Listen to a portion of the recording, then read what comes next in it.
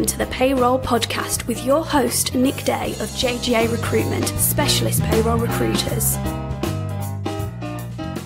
Hello and welcome to the Payroll Podcast. My name is Nick Day from James Gray Associates, and today I am joined by Helen Patterson, who is a workplace expert with an in depth knowledge in employer culture brand and program strategy. Now, Helen is based in Canada. She previously worked for and at ADP Canada, helping them to develop their HR technology and their HR and payroll service. And she was also involved in moving them to a human capital management company from a traditional payroll firm. Helen was their representative on two Canadian government committees with the Canadian Payroll Association, where she helped to shape changes to legislation that impacted payroll providers and employers and subsequently, Helen is now extremely familiar with the compliance side of both payroll and HR tech, as well as best practices for building client and user friendly tools. At the moment, Helen is an author of two HR publications for Thomson Reuters. She's also a very experienced blogger covering all areas of HR, and she runs her own small consultancy called Life Works Well, which is something that helps organizations create high performance, people focused workplaces. And it's something I'm really keen to find out more about in this podcast. She's very good at engaging a captive audience, which she's done on a number of occasions for Disrupt HR and the Canadian Payroll Association. And she's been involved in the HRPA's annual conferences as well. So I'm really excited to have her on this payroll podcast. She has a real focus on helping employers develop a culture that puts the employees' health and well-being first. So we're going to find out a lot more about that today and her mantra is hashtag human first. Uh, but for now, welcome, Helen. Welcome to the Payroll Podcast. Oh, thank you so much, Nick. I'm really excited to be here. I really appreciate the opportunity to have a chat with you. Me too. I'm really excited to get started. For those that aren't familiar with the podcast strategy, we always start with a uh, questions one to five. Five quick questions. Just to kick things off, you've obviously held senior roles at ADP, Helen, in Canada. We talked about a little bit about that in the introduction. But in particular, you've been involved in compliance and product compliance, marketing, over about a five year period, I think. So as you're quite familiar with payroll and podcasts, that I've done some of your own podcasts for ADP as well in the past, I wondered if you could just give us a little bit more of an insight into your journey to date, telling us a little bit more about how you got into payroll and, and your experience. Sure, that's great. It's really interesting because I never thought I would end up working so closely with the payroll professionals and payroll technology. And I have to say my opportunity at ADP Canada really made me appreciate the value that payroll professionals bring. They're so undervalued and they are so taken for granted as employees. We get our paycheck, you know, we sign up, we have to fill out some forms potentially. And so it's just really, really under the radar. So I really enjoyed that stint. Looking back though, I have an employment and HR law background. So my career started really in law. One of my roles was head counsel of litigation for a large retail organization in Canada. I had to manage a lot of files, but the employment law, the HR, all of the compensation things I handled internally. So that's where, you know, I started to learn about employment standards, statutory holiday pay, vacation pay, termination and severance pay, call-in pay, you know, all of these things, CPP, income tax. And I also, with that role, and then as employment law counsel at CIBC. So the first job was really as in-house counsel, learning about all of this. And because we operated in every province across the country. So I had to learn nuances between all of our jurisdictions here. And I also had to help with the HR team design compensation plans, stock option plans, and all of those payroll components when you're hiring and firing, not even really realizing it's connected to payroll really. Then I sort of shifted back to HR. When I came to ADP Canada, it was quite a new role. And that's where I really started to delve deep into helping them embed compliance components within the software. So that's sort of how I ended up getting to ADP Canada and starting to work with CPA as the ADP representative. And I think we're going to cover some of that a little bit later. So it was sort of not intentional, But uh, I had my own business for about seven years. The life works well. And, and then an opportunity at ADP Canada came up, you know, with this compliance role. And I thought, wow, this is really interesting. And the benefit was, of course, it was about a 10 minute drive from home and to the kids' schools and everything. It just was, wow, this is a really great opportunity and to learn something, get even more embedded in it. So that's how I ended up getting to the payroll experience. Great. I, I, picked up a couple of words that you mentioned. The first thing you said, not intentional. I think that seems to be a common thread for people that have ended up working in payroll. I don't think anyone to date that we've interviewed certainly has sort of set out on a career in payroll and it's always become non-intentional, but actually once they've got involved in the profession, it's kind of hooked them. They've really enjoyed it. I think something that's quite interesting is you said that it's uh, right at the start, that it's a profession that's often undervalued coming from your law background, before you had to learn all about the statutory laws and the statutory process involved in Canadian payroll, did you personally undervalue it as well? And was it a bit of a, a learning curve, if you like, to suddenly, I never knew payroll was so complex? It's funny. I don't know that I'm undervalued because for me, if you learn more about me and my human first hashtag and everything, I really appreciate people regardless. Uh, you know, I've had a humble background, so I've had to put myself through school and I've had jobs in factories and flipping burgers and receptionists. And so it's behind the scenes and no one really knows what everybody's doing. You know, you show up and you fill out a few forms when you're hired and back then, of course, everything was manual, as you know, and, uh, you, you kind of take it for granted. So obviously with the law, I definitely started to appreciate and understand the complexity because I have to tell you, statutory holiday pay legislation and what needs to be done is so complex in Canada. It's ridiculous. It has been like this thing that has followed me in my career. Every company I've gone to, it's like stat holiday pay headaches, right? It's like, I can't get away from this. Leave me alone, right? Because it is. I mean, for part timers, there's different calculations. You know, there's, you know, you want to press a button, but, you know, technology as it was designed years ago, it wasn't like that, right? So that's why these technology companies have to evolve too, because we sure. are now in a global market with freelancers and we're changing here in Canada. There's been quite a few legislative overhauls because some of our employment standards laws have been in place for over 40 years and they just don't work for today's society. You know, and living wages, you probably heard about all those things over in the UK as well. You know, I just really learned so much and enjoyed so much about all these nuances. Same thing with vacation pay. It's never cut and dry. And because of the different nature of employment relationships or the contract with the company, it's very complex. It's not one rule. So it's really, really interesting. And just the HR payroll relationships can be improved. Sometimes payroll is part of finance. Sometimes it's part of HR.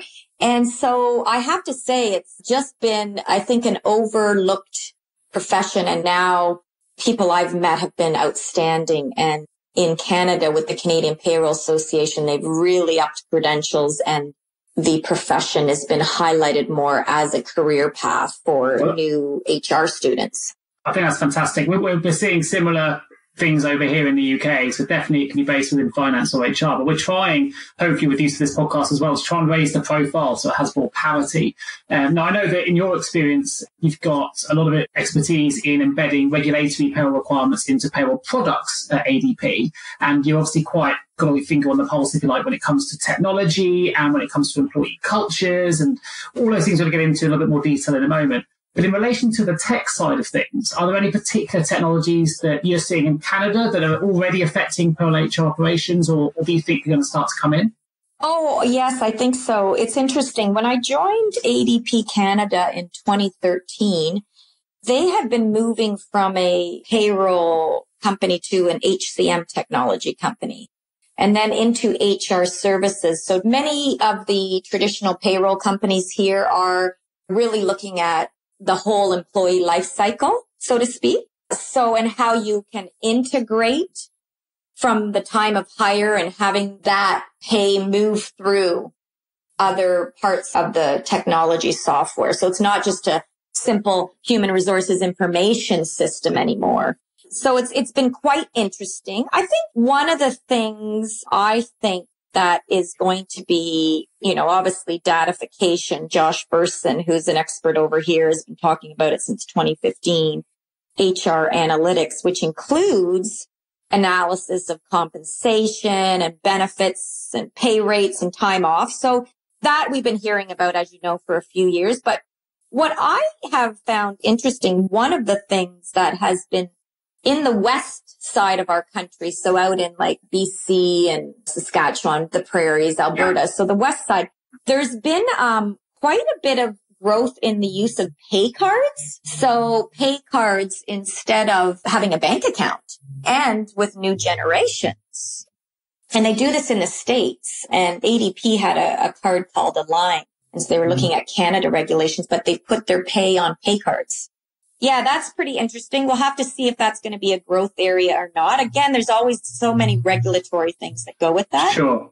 I think obviously you've been probably hearing a lot about blockchain. I wouldn't say a lot. I think it's um, I've done a, a, little bit of a series of articles to try and educate the, the payroll market. I think it's we're just starting to see bits and pieces come out now about the future of payroll and blockchain. Mm. Certainly, the, the payroll yes. card system is something we don't have in the UK, as far as I'm aware. So that's quite an interesting potential development for the future for employees over here.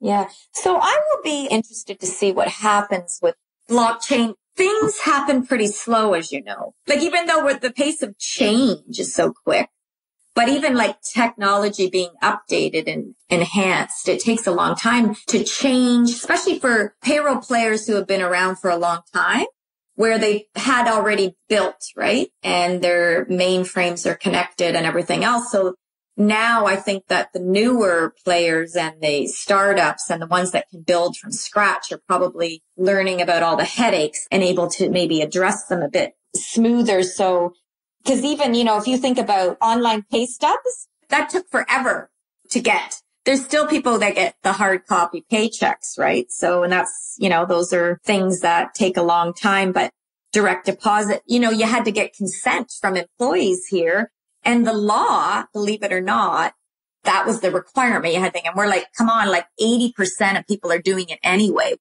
That's where the Canadian Payroll Association and their members would, you know, which I participated as a member on some of these committees. We would sit with the government and say, you know, we need legislative change takes so long. Governments change and then you're dealing with new governments and it's just, come on, let's get with the 21st century. What I think is interesting about the blockchain is that there is this whole encryption and making things anonymous and that protection potentially is there for information rather than going through this third party and paying them on both sides, both employers and the payroll vendors or, you know, having bank accounts, all those fees. So it'll be interesting to see what might happen there. The other thing, as you know, is I think mobile payroll has been building. People are now able to check with the newer generations, obviously, and everybody, it's simple. You can check your payroll online. You can do time management, time schedules, self-service type of stuff. So you know, I think that's kind of where we're at right now. You mentioned uh, um, analytics, and in the UK, one of the things that um, I guess people have been afraid of or, or wary of maybe is um, robotic process automation. So the idea that the mundane tasks will be automated. That kind of links to your anal- analytics piece, really, because as that becomes automated, there's going to be the payroll position in the UK is going to change to become more analytical based on the data that they're going to have more time to analyze as a result of things like RPA. Yeah. And actually, you know, when I, I had been thinking about this, I actually had AI in the back of my head because that's such a topical thing here, right? And globally, artificial intelligence and whether again, looking at productivity, efficiencies and how can some of this take over. One of the other things that's really interesting is I don't know if it's the same in the UK, but even the governments themselves from a technological standpoint is it takes a long time to have change. Yeah. So when I started out in my profession years ago at CIBC and HR and, you know, even government websites have changed so much in 10 years, right? Sure. So the amount of information that's available and as an example here in Canada, Ontario and Alberta that if employers aren't compliant and they've been found to like get fines because they haven't paid correctly, Yeah. So say they haven't paid or statutory holiday or severance pay or vacation pay. They actually put the company's name on their website. So they've been doing a lot, a lot of audits here on that because of this underground economy. And people sometimes just don't know. Whereas that's where these outsourcing or payroll providers, like they know what to do if they can embed all these clients rules in there for you and help you minimize having to do manual work or, you know, you don't always understand. You're growing your business. You're focused on selling and products and your last thing is like thinking about all of this, but you should be, right? It should be a, a higher priority and it's not always. So, so that's been kind of interesting. AI, yeah, the whole robotics thing, because I had come up with a word before about, you know, simplification. We want to make things simpler, not more complex. And so even governments are looking like, how do we make it easier where we're going to get information? As an example, when you leave an organization, you have to file records of employment. Yeah. And automating that has been happening where you can do a lot online and sorry, employees can get something digitally now. So it creates a quicker process. Sure. You know, it's easier when there's a set payroll run, as you know, but a lot of the better the improvements are, you know, off cycle you know, when someone's terminating in the middle of a pay cycle. And so those are those improvements, but also making life easier. Like if I'm hiring someone, age restrictions, when do they start paying into the Canada pension plan? Because students start younger now um, and there's age restrictions. So having a system like where, oh, wait a minute, you can't put this person in. It's automated, right? So it's looking at those, how it runs and where you can make those simple I'm saying simple, but behind the scenes, we've got all these coders Sure. and having worked with all the tech, sitting with technology folks and realizing, and even for me being a client when I was working with our outsourced vendor to try to get one code change, it's a very, you know, for one code, adding a new leave code or something, it's not always that easy. Right? No, no, well, payroll's complex, isn't it? So it's even harder sometimes in payroll to make one change. Can sometimes involve a number of different processes and uh,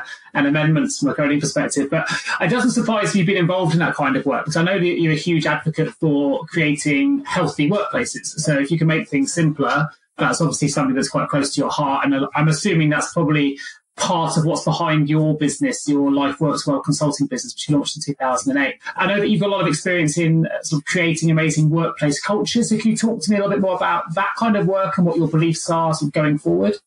Yes. And this is really where that holistic view is important.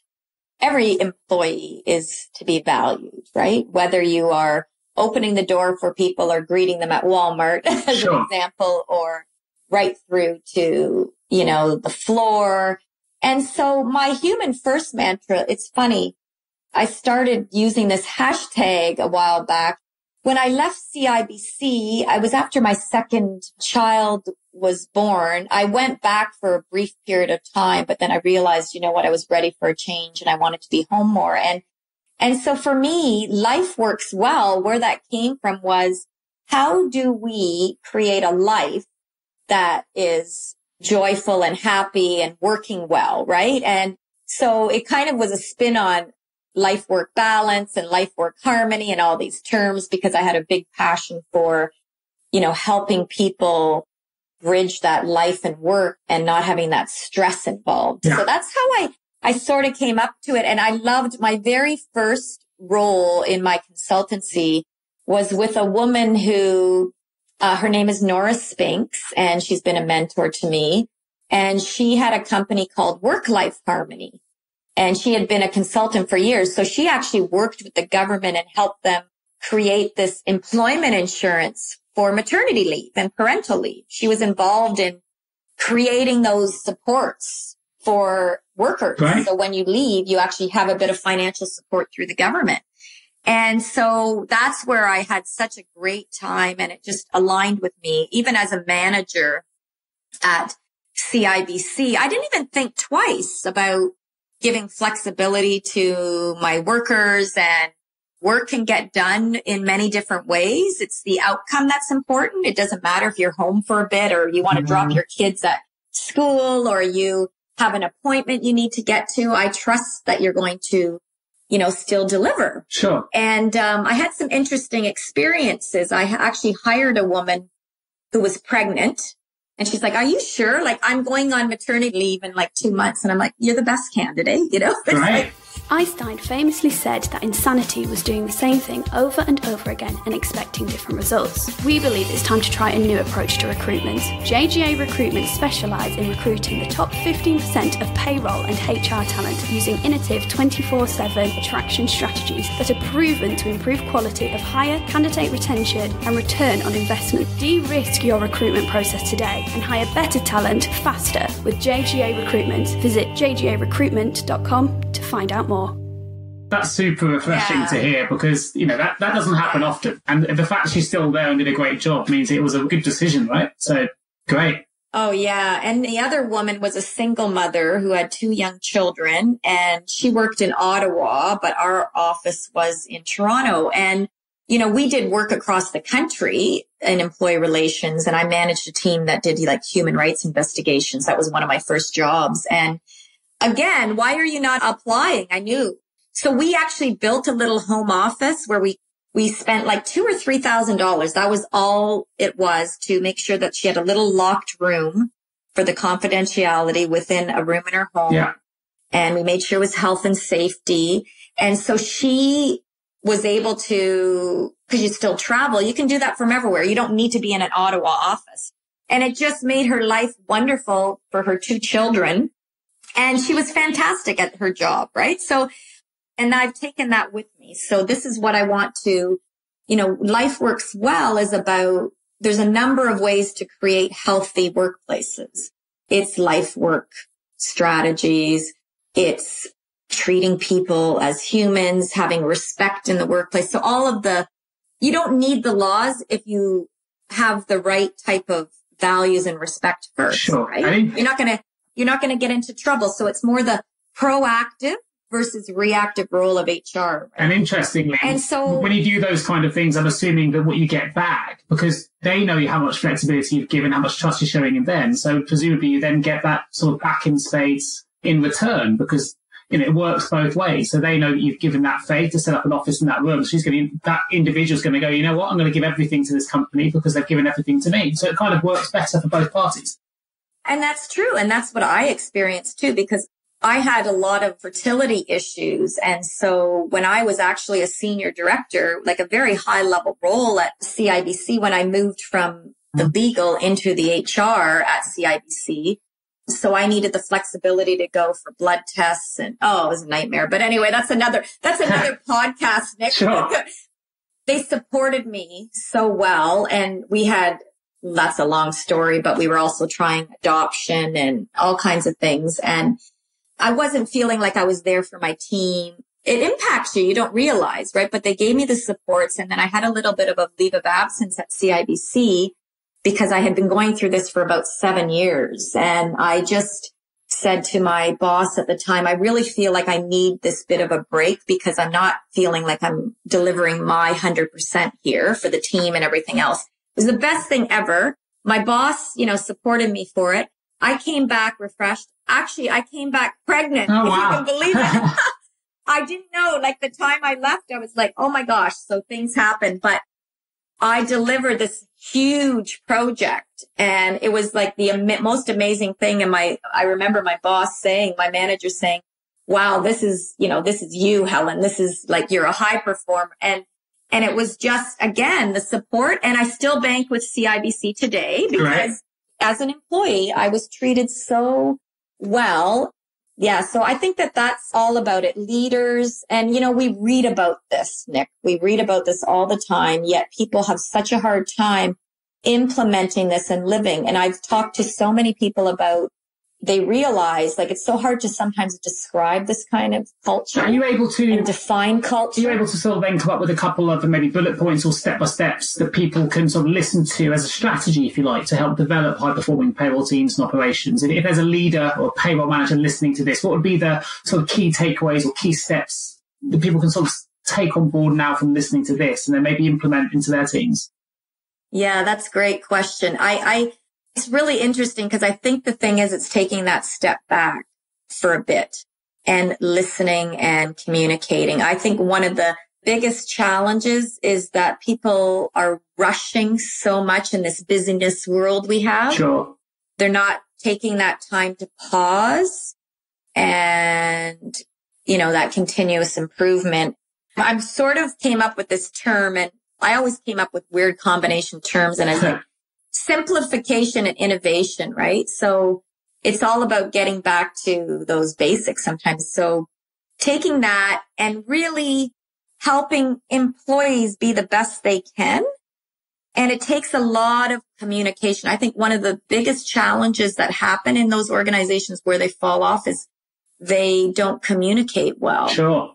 And they don't respect and they don't set these like boundaries in a way, right? As far as that and have signs and have that. So it seems so simple sometimes, but it, it's really just going back to, okay, everybody's a human first, right? Right. You have a life outside of work for the most part. Other than, I mean, sometimes entrepreneurs, that's their life. They have their purpose, right? But if your mission and your vision and values aligned and you're actually living it, so be proactive. And it's that communicating goals, setting clearly, right? And finding time to have fun. I think very important. You know, having fun. Yeah within it. And I think being there because everybody is a human. So being there and understanding. And as you know, like organizations are moving more to a coaching environment. Sure. Sure. You know, and they're getting rid of annual reviews. So, you know, payroll leaders can do the same thing as any other leader, right? They're I think you highlighted something that's really important. Talking. Really important at the moment. Yeah. And it is talking really. It's, you know, with RPA coming in here, which is scaring people because payroll people in the UK are worried that you know, they may lose their job because it's going to be taken over by a robot. I, have been trying to say to the UK payroll audience, look, robots can't take over the human element of what you do. And the communicative piece, the amount of responsibility that payroll people have in terms of influencing things like employee engagement, that kind of stuff can't be automated by a robot, in my view. You can't take away the, the human intuition, the human communication piece, the, the bit that's so important in making any business, particularly a payroll function, work optimally we're certainly we're seeing as recruiters that payroll communication skills and stakeholder management skills and the ability to communicate complex information uh, in a way that people can understand to improve the process are kind of now more important than we'd ever seen before. And that's the case with every managerial role. You know, I've been in HR for a long time, so one of the biggest challenges has always been to get those managers to move away from the the business, the day to day and and manage sure. and coach and those soft skills. So what, you know, I think it's, we're in such a great time right now where there's so much on emotional intelligence and getting rid of ego and moving people to those real human centric focused environments. And if employees are engaged, as you know, and we've read about mm-hmm. it, so I really believe this, that the customers will feel it. They'll skyrocket people will love to come to work and they love to engage with their colleagues. Think about how much time you spend there. Some people want to go. They don't want to work remote anymore because they love engaging with people and they have fun. One of the other last things I would say, and it's kind of my other passion, as you know, is mentorship. And I think having these payroll managers or leaders find themselves a mentor or mm. a coach to help them along the way is so valuable because people have been there before. And so if you can find someone that's going to help you look at these strategies and know what's worked well and what hasn't in the past from their experiences or peer to peers, even like to share learnings. I've seen mentor circles work with a number of different managers get together and kind of share experiences in confidential way, obviously. Yeah, I think people could do it a lot more.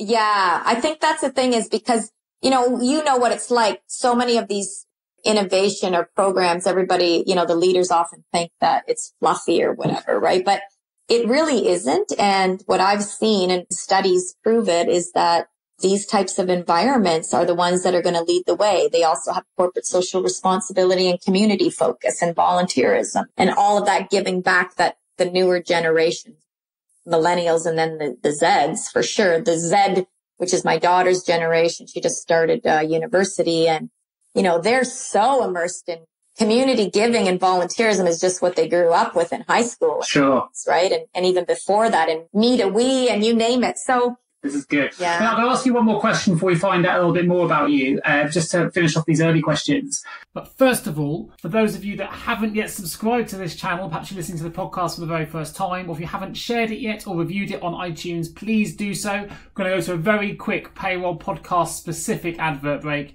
Bit of fun. Hope you enjoy it. I'm going to go straight back to one final question before we find out a little bit more about Helen. Enjoy. This is the podcast you really need. Meeting people helping shape the payroll industry. The Payroll Podcast, this you gotta check. Hosted by Nick Day, bringing in so many guests. Director of JGA Recruitment, uh-huh. Nick Day. Break it down, show them how we do it. From the latest tech and payroll compliance issues. Uh-huh. Let's start the conversation, see how we can improve. Yeah, Vicky Graham, Richard George, that's the name of few of the guests that we've had, and so many came through. Let's uncover these topics, and it ain't no debating. From GDPR to payroll training, workplace psychology, so important, can't deny. You don't wanna miss an episode, so make sure you subscribe. It's the Payroll Podcast. Now you can't forget, hosted by Nick Day, bringing you the coolest guests. Yeah, the Payroll Podcast. Let's elevate your payroll career. Subscribe now for those in the UK, they won't be familiar, I don't think, with the Canadian payroll laws, if you like. So I read some of your articles that you've written for ADP, and the one that really stuck out for me was the one on pay equity. And I want to touch on this because I think our payroll listeners would really enjoy learning about the pay equity concept, which you have in place in Canada, which I don't think we have, or I'm pretty sure we don't have here in the UK. And I really enjoyed the articles. I wonder if you could just sort of enlighten listeners on what the pay equity scheme is in Canada. Oh, yes. It's really interesting because just to give listeners in the UK or outside of Canada that might not be familiar or even within Canada, because not everybody always knows this, that we have kind of a unique structure for laws in Canada because we have a federal jurisdiction which applies to certain types of industries. So we have 10 provinces and three territories. And each of them have different separate laws that apply to workers. But then there's this federal jurisdiction. So when you look at it, I, what I say is, well, we really have 14, even though there's only 13 physical places. So right there, there's a complexity of doing business in Canada, right? So in the federal jurisdiction, it applies to airlines, telecommunication. There's a list of industries. And what's interesting about that is and the banking industry was one of it. So this is where I learned a lot about federal is that regardless of whether you are working in a branch in Alberta or Ontario or Manitoba, the same law applies to you. Whereas if you're a provincially regulated industry would be like manufacturing or others. If you're operating in only one province, Ontario, those are the laws that apply. Right away, you have to kind of understand that. And so pay equity law doesn't exist in every jurisdiction in Canada. It does apply to the federal. So pay equity has been in place in a different way. I mean, the federal and banking, there's a lot, employment equity and all kinds of things. Ontario, where I live and work, is one of the jurisdictions, as is Quebec, that has pay equity laws. So if you're a business that operates in those, you have to understand pay equity. And so many people understand the concept of equal pay for yeah. equal work.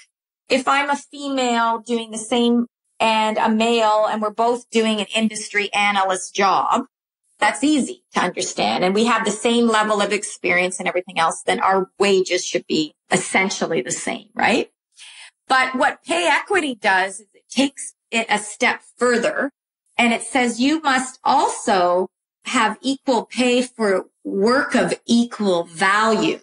And that's where the complexity comes in because that mm-hmm. means you actually have to assess every role within your organization. You assign points and there's a couple of different methodologies to do this, but you assign a point system to these jobs to determine whether they're the same. So one example would be, is a receptionist job the same level of points as a construction mm. worker. just say in a, in a construction company.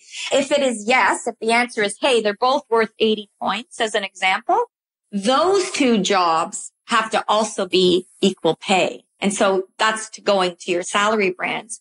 So what happened was organizations would have to do this process. And then if there was an issue, they would have to make pay equity adjustments. So say the construction worker was, you know, the starting rate was $16 an yeah. hour, but receptionists were getting $14 an hour. The company, because there is supposed to be equal pay for work of equal value, then they had to up the receptionist to $16 an hour as a starting point.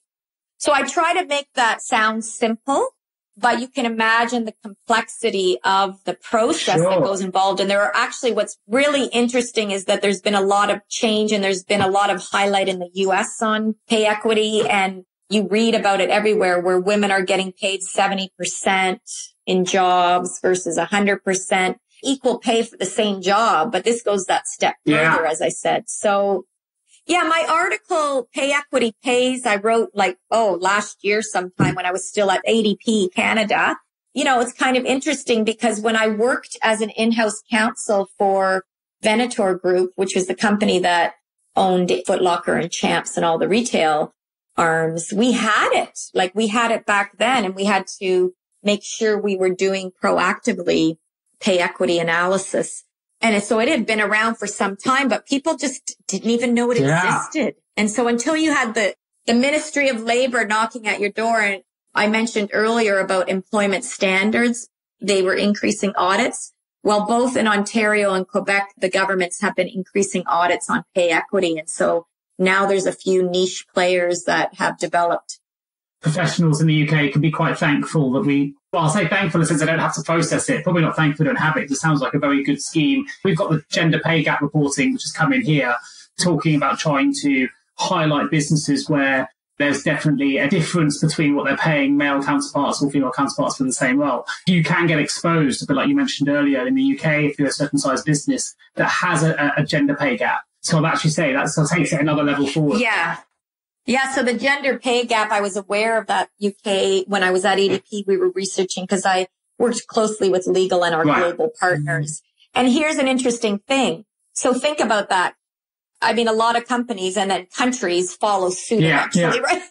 Canada's been very progressive in this and same thing with human rights, right? We, we seem to be well beyond others sometimes, but what is interesting from a payroll technology perspective is that in the US, because of the similar reporting requirements they had, which the UK is going to be doing. They created some technology to help employers. And I think that's where I was saying earlier about if you can have it embed and be innovative about how that paid data is going to be used in different ways and create reports. Imagine how easy that would be. And even if you had an auditor coming in as a company and you're able to just spit out your data, right?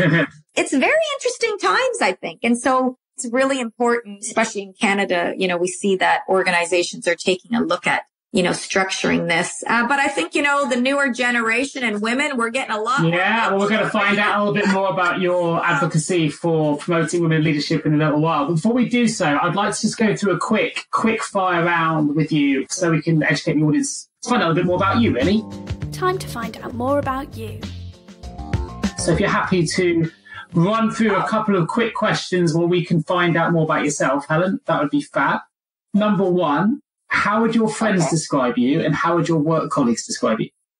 You know, it's funny you ask that because I have been working with a coach this year. This was something a little bit newer for me. I've had mentors in the past, but I've actually worked with uh, a coach and one of the exercises they had asked was for me to go out to friends and colleagues and family and ask them to like say, why is Helen awesome? And what is she the go-to person for? So it's kind of funny yeah. when you see what other people look at you. But I would say that a lot of my closer friends and people that know me well say I'm pretty funny. I like to laugh. I like to have fun, kind and caring. You know, I really am a, a giver. I really feel like that's kind of who I am. So they would probably use some of those words. You know, I like to get out of my comfort zone. colleagues, I think they'd say a lot of the same thing, but I think that I am one of those positive yeah. people. Yeah, colleagues and like a definitely look for the silver lining type of person, you know, get it going, energetic. Uh, your passion is definitely coming across. So I would, uh, I don't know who, as well as your friends and colleagues would know you, but I can vouch to say that that's probably the same way I would describe it in the short time we've got to know each other. So more than fair, I think. Tell me something about you then that perhaps other people won't know about you. Gosh, I'm kind of, you know, I'm pretty open, right? And transparent. So people kind of get to know me. I am who I am, right? I kind of put it out there. Maybe a lot of people wouldn't know. I might have mentioned this earlier that I actually, you know, came from a pretty humble background, you know, not a lot of income in my family. So I'm only one of five children that I was the only one that went to like university and I actually put myself wow. through school. So I always had to work. I worked like almost full time during my undergrad because I was a legal secretary. So they may not have known that because I'm aging yeah. myself now because that doesn't show up on my LinkedIn, but, but great skills Absolutely. to have, right? So something a little bit different. You're abducted by aliens who want to learn more about our species. What item would you take with you? oh gosh, that's a, I've never heard that one before. Will the iPad? Yeah, well, you won't be the first to mention the iPad. Yeah. Oh, that's funny. You know what? I think I would want to have a photo. And you can have that on your iPad as well, right? Um, yeah. So if I could have that, because I would want to have that cool. as comfort, because that would be pretty scary, wouldn't it? what, what game or instrument would you teach them? Well, I've always wanted to learn an instrument, so I can't help on that front. But uh, on my list of things to do before I go, you know, try to learn piano or something. But a game. Hmm, there's a lot of fun games, but lately we've been focusing on yeah, chess in the house. Nice, so nice. Probably chess. chess. My son kicks my butt though. he's really good. He's 11 and he's he's really good. He's uh, so I kind of have been playing a lot more of that. So excellent, excellent. Uh, what do you tell them about humans? Oh gosh, we are very complex, very. aren't we? I so, what truth or human trait that. would you hold back from telling them about humans? Um, I wouldn't want them to know about narcissism and maybe big egos, right? And you know from getting to know me a little bit already and my human first, right? It's one of the things I want to find out more about is I know that you're a huge advocate for promoting women in leadership. Uh, but not just women in leadership, also motherhood in the workplace, and you've touched upon that a little bit already. Can you tell us more about sort of why this in particular is important to you, what you've seen in the market, and I guess more importantly, how you view the future? Yeah, this is such an exciting time, I think. You know, even when I went to law school, I'm pretty sure we were already getting closer to like 40, 50% of the students were female. And so seeing women get into STEM more and my daughter's in science. So that's pretty cool. So technology, math is being encouraged. Right now, I'm part of an organization I joined last year that is called SheEO. Okay which is pretty cool. And it's such an amazing group. A woman named Vicki Saunders who started this, her vision is to have a $1 billion perpetual fund that is for women entrepreneurs. And she's gone to Canada, Australia, US, a few other countries. She wants to do this globally. And it's so amazing because I joined as an activator, which yeah. means I just gave my money and I wasn't expecting anything in return. It was just like a membership fee sort of thing. And it was my contribution. So what they do is they collect this. We as a person that contributes gets to vote on which entrepreneurs get to um, have access to this fund depending on how much they raise. And so, you know, last year there were $700,000 that was shared by seven young women startups, not even all young, I just think it's wonderful. And women in leadership, obviously, large organizations. I mean, you've read studies about it, right? There's still a very small gap with women in those leadership roles. And what I'd love to see more is women who are family, because I've found in my experience, a lot of times the women that have been on the leadership team have been women that don't have children or their children have grown and they're gone off so they have more free time. But it's tough because it's that trade off, right? So supporting that motherhood and fatherhood too. I love that, you know, more men are taking parental leave now.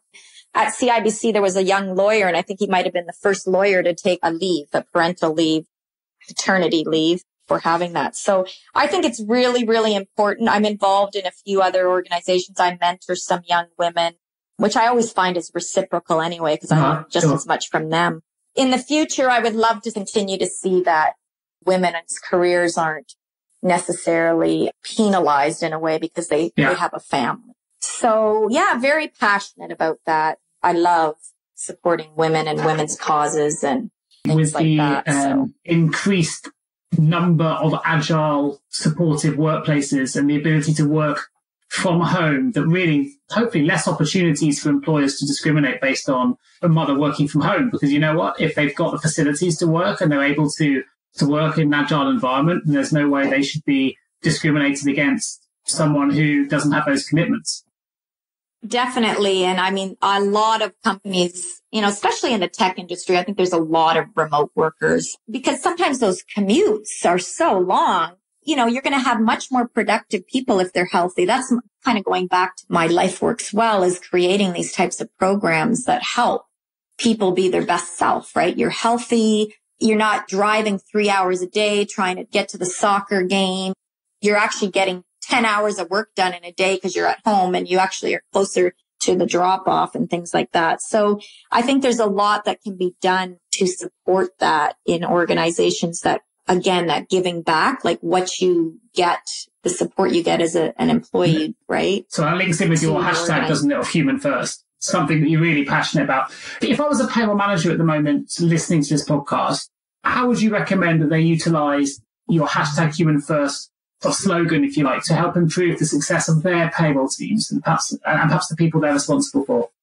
Yeah, I think we've touched on this quite a bit, you know, recognizing that there is this life outside of the organization. I think flexibility is how I would describe it the most. And that's something that's, there's been a lot of research here in Canada and even some of our governments have gone out with studies on flexibility and potentially even sure. legislating it, if you can believe it. You would think that it's understandable, but that is, I think that that's where is like getting to know people for who they are, right? Outside of their role and respect, right? It's all intertwined in a way that you're going to get so much more out of your employees if you approach it that way. And so payroll managers, we talked a lot about this earlier about the people side and the soft skills side is that when you recognize that people have interests and passions and, you know, they like to run outside of the workforce or they, you know, they're gardeners or, you know, it just, it's really bringing that, those values in and that proactive strategies sure. versus reacting and coaching, right? So if you know what the skill sets are or, you know, it's interesting. There's a lot of debate right now about whether it's strength or you build from strengths in your team or you can create good habits. So your people are all going to be different too. So they're not all cog, you know, as opposed to this. So even though those aliens find out we're complex, I mean, sometimes that's a good thing. Now, before we finish this podcast, I, I know that um, the listeners out there will be really keen to find out more about some of the expertise you've had over what is a 20 year history working in a diverse number of positions across payroll and HR. So I wondered if you could share some examples or a, an example of a project you've worked on that required some innovative out of the box style thinking. So I know that's something that you've always been able to do across all of your employers. So there's a particular example of a project where you've needed some innovation um, and perhaps you, have thought outside of the box. I wonder if you could share it with, with listeners. Yeah, that's a great one because I've I've been involved in some really exciting things over the years. Kind of linking it to payroll, I can one project comes to mind which was dealing with compassionate care leave. And I don't know if you have something like that over in the UK, but here this was introduced way back, I would say at least 10 years ago or something, but it was unique at the time in that the government was going to support like they yeah. do with parental leave and maternity leave support employees to take time off and to get some pay when a family member was near the end of their life. So it's kind of like the opposite. You have this birth, beautiful, and sure. this is very difficult time. And so I was very, very proud of how most of the times you just think about it and you just put in a, uh, you know, put in the laws and that's it. But with this, we really pushed the team. I managed a policy subcommittee at the time and a couple of us pushed our executives to say, Hey, let's look at something different. Let's like enhance our employer brand here and do something really unique and try to do something. So we created a whole bunch of tools and we ended up asking the senior executives to support some additional pay for these employees during this very difficult time. And so to get 100% of their salary. And so I was very proud about that because we had to push for that and we actually had to get the advocacy part mm-hmm. of it. And we ended up being the first bank to do it. And they went out with press releases and all kinds of stuff like that. And of course, all the other banks followed. So that was pretty cool. That was a lot of fun. Really quickly, one other one on the ADP side, which was again more recently, which was, I think, quite innovative was launching the HR services in addition to payroll and HCM technology being the first one in Canada to kind of combine it all. So that was very, very exciting. Quite a journey. I was primarily involved with the content development. Yeah. And so what was wonderful about it is that for businesses that couldn't necessarily afford a huge human resources department, they could partner with ADP and have, you know, one-stop shopping almost. So they could get employee handbooks, policies, programs, pay equity. They partnered with uh, a company that was expert so they could provide that too. So I feel this was very, very innovative in the market and I brought a lot of my skill set to that in leading that content development and partnering with other organizations to get it going. Eventually the intent is that it becomes probably all in house, but you know, you have to get to business sometime and get to market. So sure. I was able to leverage partnerships with a number of other large Canadian organizations, but also build out internal expertise and get the standard operating procedures in place for that.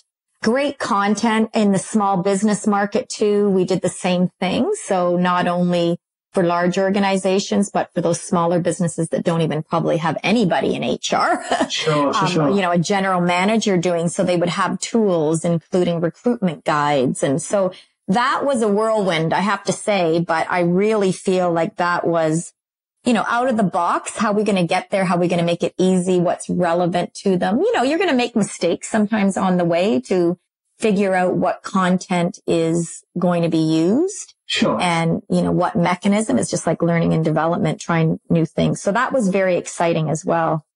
Workplace culture and tech expertise to find out how you think payroll and HR departments will evolve in the future. Oh, wow. You know, I think we've touched on this a little bit with the robotics coming in, globalization. And I think I mentioned at the beginning where I really believe there needs to be a little bit more synergy between payroll and HR as sure. a partnership. I think that the expectation is that there is continuous learning and that the efficiencies and productivity is still something that's top of mind for obviously the leaders. But I really believe with these newer generations, you know, there's apps coming out every day, you know, as far as different technology. So I think that you know, the social connection and having the ability to do mobile, you know, everything at your fingertips is definitely something that I think is going to, going to continue to evolve. And I think that there will be more, you know, this whole minimum wage, living wage, legislative changes, flexibility, freelance environment. I think we're going to see a lot more of traditional payroll companies looking at using those technologies to pay these types of people as opposed to doing it separately on an accounts payable system. Yeah. I think they have to, you know, start looking at, you know, an all in one because that is something that is already happening now a little bit. So that's a lot. And I just think continuously like this whole emotional intelligence and bringing back people skills and soft skills into workplace culture is something that organizations are continuing to look at and community involvement, volunteerism. So if those companies focus on those types of things, they're going to really innovate and um, be the leaders in the future. No, I think that's a great way to finish because I think that's something that you know I'm really keen to stress to payroll people out there at the moment is that those soft skills, that human element piece. It's not going to go away. It's going to become more and more important. So don't be fearful of the robots. Just uh, confident in your your own you know human soft skills and experiences and utilize those to, to deliver a really good payroll function. So we're going to open the vault to finish this podcast. Entering the vault. One piece of advice you would give to someone working in payroll right now. Well, I think you've heard the theme already. Continue to learn, really yeah. keep up and continue to grow and find yourself a mentor or a coach, someone that you can go to and help bring you to those next levels. So Fantastic. it's kind of two things, but I think they go hand in hand. Absolutely. With the benefit of hindsight, what would be the one career decision you would change? aren't we supposed to say to this Nick that you know our journey took us here? It did. It this did. is what was, yeah. But you know what? I have to say there is one thing, and it's sometimes I don't have any regrets. So think of it that way because it's all been great, great learning. That's my I love to learn. Sure. But I think in hindsight, when I was going to law school, I had an opportunity to do a combined MBA.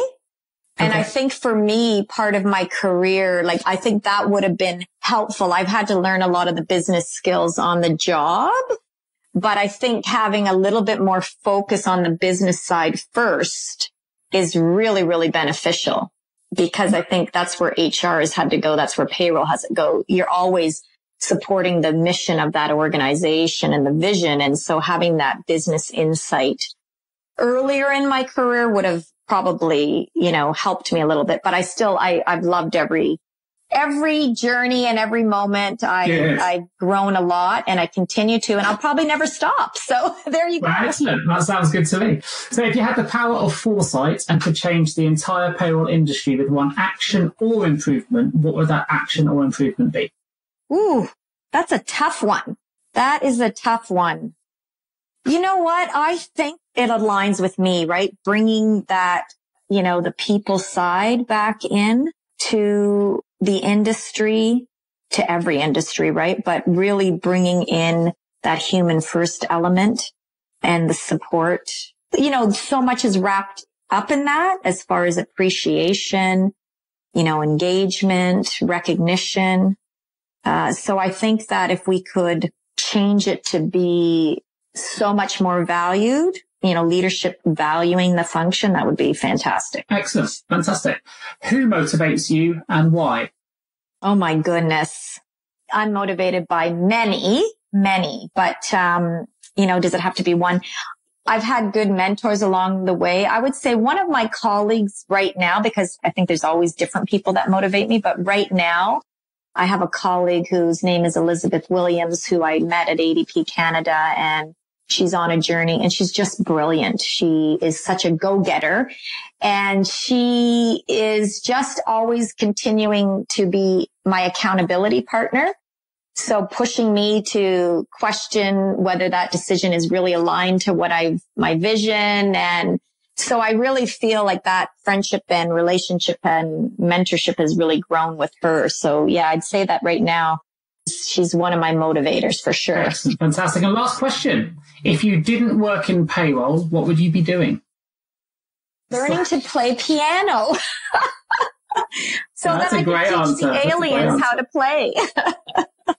you know what? I, I kind of, you know, have a lot more focus on this mentorship right now. So I'd say that's what it's probably, you know, going to be this culture and mentor. I'm sort of shifting into that, but obviously all the payroll and all the compliance is still always a piece of it. But I want to focus Excellent. more on that. Thank you so much for joining us today on the on the uh, payroll podcast. For anyone who is interested in finding out more about Life Works Well or more about Helen, please do visit her website, hp.lifeworkswell.ca. There's a wealth of information on there. There's a number of really interesting blogs and really interesting articles So I definitely recommend you take a look. Um, I'll also put a link, if it's okay with yourself, Helen, to your LinkedIn profile if anyone wants to get in touch. So this is the last podcast before Christmas. So I want to take this opportunity to wish everybody a wonderful Christmas and a very happy new year. Thank you ever so much for listening to the Payroll Podcast and subscribing to this channel. We've got some fantastic episodes already planned for next year. Kicking us off is going to be an interview with two individuals from the American Payroll Association. Stay tuned. Have a great festive period and I will look forward to speaking to you all again in the new year 2019.